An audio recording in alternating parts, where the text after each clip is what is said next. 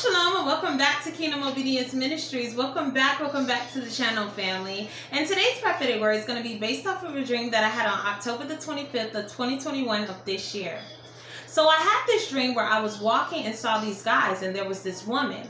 I was on the way to change my gym clothes. I stopped at this bathroom. I started changing. In my head, I was like, You need to hurry up. They might try to rob you. I grabbed my phone and bag and walked out the bathroom. As I'm coming out, I see this little boy telling this little girl, I'm going to tell grandma you lost her headband.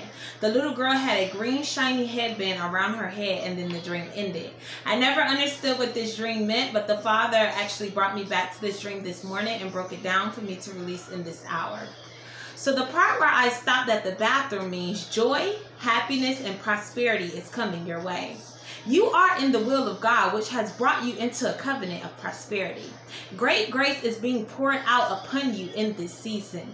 Then he led me to Deuteronomy 29 and 9, and it reads Carefully follow the terms of this covenant so that you may prosper in everything you do. Your requirement is obedience. Isaiah 1 and 19. If ye be willing and obedient, ye shall eat the good of the land. Amen. So the part where my inner voice was telling me to hurry, they might try to rob you means Satan plans has failed. Satan's greatest fear is your destiny. What the devil thought would be a stumbling block only became a stepping stone to your destiny. The enemy is going to have to pay back everything he has tried to steal from you. You're getting back your joy, your sanity, your health, your deliverance, your family, your marriage, your justice, your spiritual gifts, your talent. Get ready to receive what was stolen from your life. It must be returned sevenfold. Then he led me to Zechariah 9 and 12, and it reads, Return to your stronghold, O prisoners of hope. Today I declare that I will restore to you double. Amen. The devil can no longer enter your house illegally. So the part where I grab my phone and bag means phone represents good news, power, and change. Get ready to receive good news. Change is in the atmosphere. You're about to wake up and walk right into your destiny like Joseph. You're going from the pit to the palace suddenly. This is your season. Heaven has recorded every prayer and collected every tear. God is about to show you show up in your life in a mighty way. The bag represents a lot of wealth that will come from an expected place. An overflow abundance is coming your way. You're going to overflow with creative ideas, promotions, resources. You're coming out of debt. Your finances are being restored and multiplied in Jesus' name. So the part where the little boy was telling the little girl he was going to tell her grandmother means Grandmother is a symbol of material and spiritual support, success in business.